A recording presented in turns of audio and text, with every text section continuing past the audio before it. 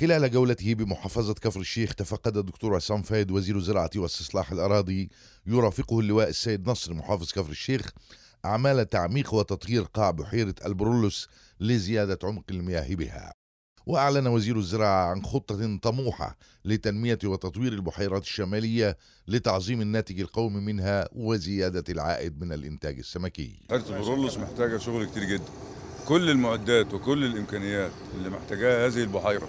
زيها زي بقية بحيرات مصر إحنا بنوفرها وإن شاء الله في مشروع قومي بيتم إعداده للبحيرات بصفة عامة في مصر وبحيرة البرولوس بصفة خاصة.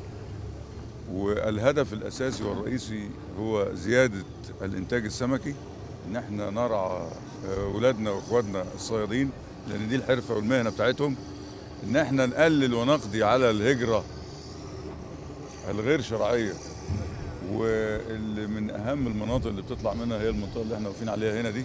كما شملت الزيارة تفقد مشروع للإنتاج الداجين البياض والتابع للجمعية المشتركة بالإصلاح الزراعي بكفر الشيخ وهو أحد مشروعات الأمن الغذائي والتي تنفذها جمعيات الإصلاح الزراعي حيث ينتج المشروع من 15 مليون إلى 20 مليون بيضة سنويا. وأكد محافظ كفر الشيخ على أهمية التعاون المثمر بين المحافظة ووزارة الزراعة في سبيل تحسين دخل المزارعين والصيادين وتذليل العقبات أمامهم. معاليه جاي معانا هنا النهارده وإحنا مع سيادته النهارده علشان نقف على هذه المشاكل الموجودة مشاكل عديدة كلنا بنجابهها كلنا بنحط لها حلول آه كل الحلول اللي عرضناها على سيادته النهارده آه إن شاء الله له بصمة قوية وكبيرة وتوجيهات على الأرض إن شاء الله آه هيتم حلها.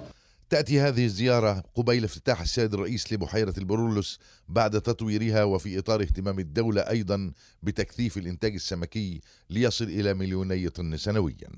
من بحيرة البرولوس بكفر الشيخ لكم تحيات محدثكم عيد حواش التلفزيون المصري.